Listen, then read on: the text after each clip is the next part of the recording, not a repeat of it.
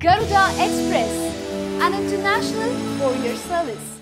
1.75 lakh common service centers and post offices to encourage large number of non-loaned farmers to take crop insurance schemes like prime minister's crop insurance scheme in the year 2017 to 18 starting from july. Have advised to use the post offices.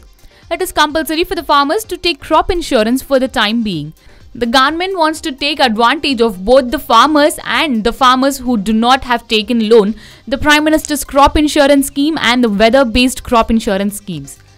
CSC established under the Ministry of Electronics and Information Technology is now being used to book rail tickets, provide Aadhaar cards and passport applications. A senior government official said that non-debt farmers who are taking crop insurance policies are currently only 22%.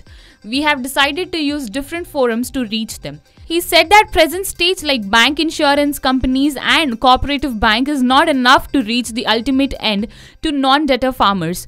Second, the banks are not so interested in selling crop insurance policies to non-debt farmers, whereas there is limited access to the village and cooperative societies. Therefore, the government has decided to use the CSCs and post office. There are about 1.75 lakh CSCs which can be used for storage and upload of crop insurance documents at a nominal rate.